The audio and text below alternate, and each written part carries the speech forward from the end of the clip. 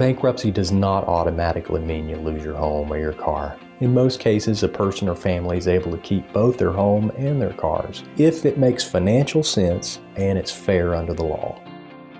Bankruptcy helps relieve financial burden if you've tried your best to pay debts and you just can't do it. Well, bankruptcy can provide three to five years to catch up the arrears or behind payments and give you an opportunity to save your home or save your car.